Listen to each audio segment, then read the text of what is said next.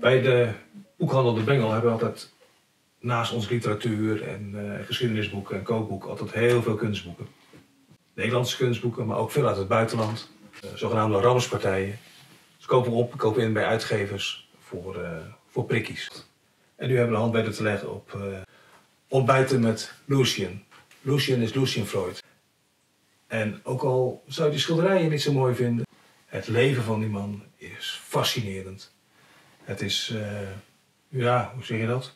je zou het rommelig kunnen noemen, maar hij heeft geloof ik iets van 30 kinderen. Hij wist, hij wist zelf niet eens hoeveel kinderen dat hij had. Alles was gericht op het werk.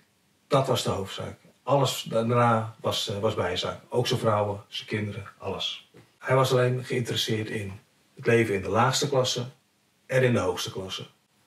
Daartussen, zeg maar, ons leven, niet interessant. Monomaan, hoe hij met zijn werk omging, hoe hij keek, hoe hij observeerde, hoe hij met mensen sprak. En dat kon soms maanden duren, hele intensieve eh, gesprekken.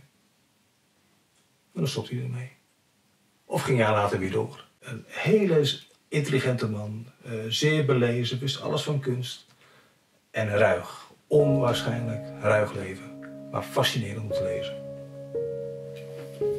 Voor 12,50 hebben we het in de winkel.